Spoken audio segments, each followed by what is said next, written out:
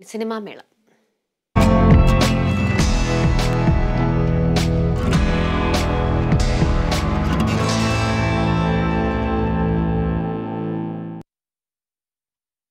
മലയാളികളുടെ പ്രിയപ്പെട്ട കഥാകാരൻ എം ടി വാസുദേവൻ നായരും ഇഷ്ടനായകൻ മധുവും നവതി ആഘോഷ നിറവിലാണ്. മലയാള സിനിമയ്ക്ക് പുതുചിത്രം പകർന്നു നൽകിയ ഈ പ്രതിഭകൾക്ക് ആശംസകൾ അറിയിക്കുകയാണ് ഇരുപത്തിയെട്ടാമത് കേരള രാജ്യാന്തര ചലച്ചിത്രോത്സവം.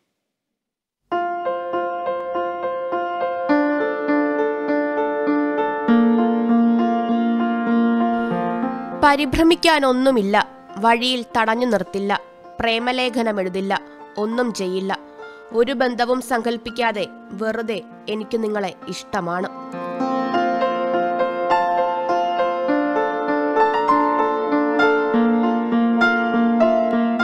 ബന്ധങ്ങളെ ബന്ധനങ്ങളായി കാണുന്ന മനുഷ്യന്റെ മനസ്സിലേക്കാണ് ഈ വരികൾ അത്രത്തോളം ആഴത്തിൽ ചെന്ന് പതിക്കുന്നത്. പ്രണയമെന്ന വികാരത്തെ എം ടി എന്ന അതുല്യ പ്രതിഭ വരച്ചിടുന്നത് ഇങ്ങനെയാണ്. കേട്ട് ശീലിച്ച പഴങ്കഥകളായിരുന്നില്ല എം ടിയുടെ എഴുത്തുകളിൽ പ്രതിഫലിച്ചത്. വിശ്വാസ സമൂഹത്തിൽ നിലനിന്നിരുന്ന ഇരുട്ടിലേക്ക് വെളിച്ചം വീശിയ നിർമാല്യത്തിൽ നിന്നുമാണ് എം ടി വാസുദേവൻ നായർ എന്ന സംവിധായകൻ മലയാള സിനിമയുടെ ഉറച്ച ശബ്ദമായി മാറുന്നത്. എന്നും പരിഹാസ കഥാപാത്രമായി ചിത്രീകരിക്കപ്പെട്ട ഭീമനെ ശക്തമായ നായക പരിവേഷത്തിൽ രണ്ടാം മൂഴത്തിലൂടെ അവതരിപ്പിക്കാൻ പോകുമ്പോഴും അതിൽ മാറ്റമുണ്ടാകുന്നില്ല.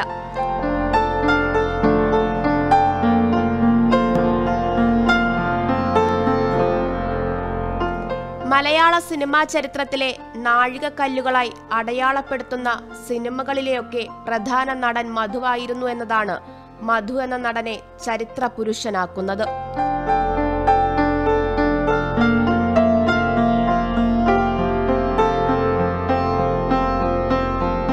മലയാള സാഹിത്യത്തിലെ ദുരന്ത നായകനായ പരീക്കുട്ടിയായി അഭിനയിക്കുന്നത് താൻ സ്വപ്നം കണ്ടിരുന്നുവെന്ന് ഒരിക്കൽ മധു പറഞ്ഞിരുന്നു. പരീക്കുട്ടി മാത്രമല്ല വായനയിലൂടെ നെഞ്ചേറ്റിയ പല കഥാപാത്രങ്ങളെയും മജ്ജയും മാംസവുമുള്ള മനുഷ്യരൂപങ്ങളായി മലയാളികൾ കണ്ടതും ഇതേ മനുഷ്യന്റെ അഭിനയ മികവിലൂടെയാണ്.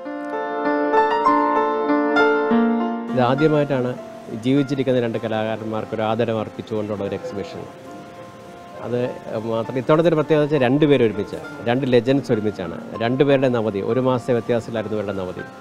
അപ്പോൾ അതുകൊണ്ട് ഇതൊരു പ്രത്യേകതയുള്ളൊരു എക്സിബിഷനാണ് നവതി ആഘോഷ നിറവിൽ നിൽക്കുന്ന മലയാളികളുടെ സ്വകാര്യ അഹങ്കാരങ്ങളായ ഇവർക്ക് ആദരവർപ്പിക്കുകയാണ് ഇരുപത്തിയെട്ടാമത് രാജ്യാന്തര ചലച്ചിത്രോത്സവം.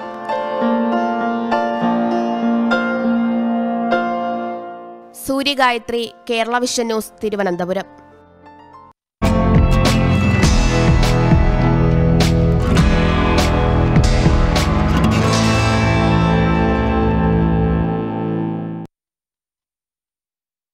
ഒളിവിലായിരുന്ന വധശ്രമ കേസിലെ പ്രതികൾ പോലീസിന്റെ പിടിയിലായി. തൊയക്കാവിൽ വെച്ച് ഷിഹാബുദ്ദീൻ എന്നയാളെ തലക്കടിച്ച് കൊലപ്പെടുത്താൻ ശ്രമിച്ച സംഭവത്തിലെ പ്രതികളെയാണ് പാവറട്ടി പോലീസ് അറസ്റ്റ് ചെയ്തത്.